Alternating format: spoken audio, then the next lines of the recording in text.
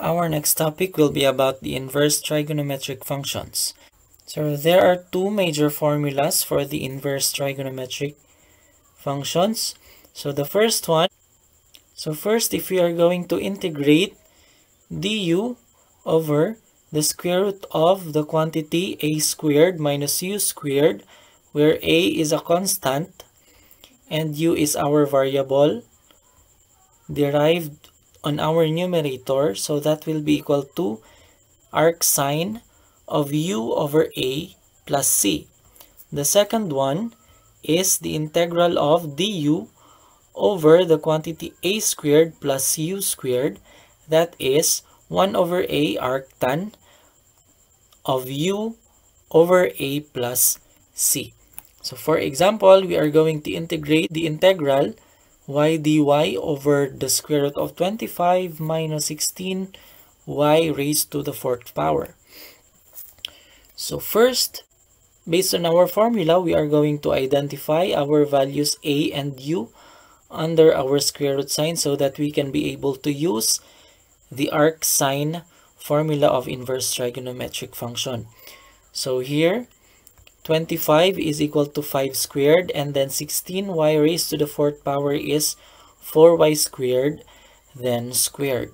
And this quantity is our u, the 4y squared. So if we are going to differentiate 4y squared, that will be 8y dy which must be present on our numerator. So we are lacking 8 here and so we are going to multiply our integral by 1 8 and then add 8 on our numerator so that we can proceed to the arc sine formula. So 1 over 8 times the arc sine of our u 4y squared over our a which is 5 plus c. So this is our answer. The second one is the integral of dy over 9y squared plus 6y plus 5. And so we have to make a way in order for us to identify our u and our a on our denominator. So here we are going to separate our constant 5 into 1 and 4 so that this trinomial here can be converted into a perfect square. So that perfect square is 3y plus 1 squared. And then our 4 is of course 2 squared. And then if we are going to differentiate our u, which is 3y plus 1, that should be 3 dy. So we put 3 on our numerator and then we multiply 1 third to our integral. And so using the arctan formula, the result will be this one within this quantity 1 half because 2 is our a so in our formula 1 over a times arctan of 3y plus 1 over 2 and then multiplying both our constant here so that will be equal to 1 over 6 arctan of 3y plus 1 over 2 plus c. Our third example will be the integral of the quantity y plus 4 dy all over y squared plus 16. So here we can already identify u and a. Our u is y and our a is 4 because the square root of 16 is equal to 4. So our denominator will be y squared plus 4 squared. And then we cannot proceed with any of our inverse trigonometric formulas because we have the quantity y plus 4 on our numerator. So, have, so we have to separate these two terms into two integrals. So that is y dy over y squared plus 4 squared. And then the second integral is 4 integral of dy over y squared plus 4 squared. So here we can use the inverse logarithm formula for integration but we must add 2 because the differential of our y squared is 2y dy but we are also going to multiply 1 half to this integral in order for us to use the inverse logarithm formula. And so that is 1 half times the integral of 2y dy. So we can already use so we can already use the inverse logarithm. So that is 1 half of ln times the quantity y squared plus 16, our denominator, plus 4. And we are going to use the arctan formula for this integration. So that is 1 over 4. 4 is our a.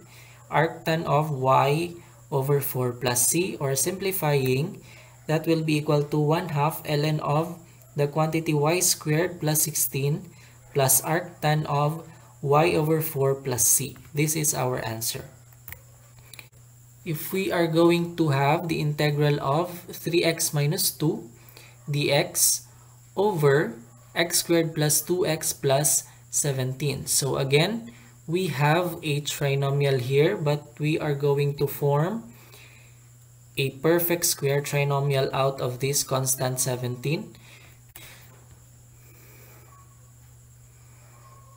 So here we are going to separate 17 by 1 and 16. The sum of 1 and 16 is equal to 17.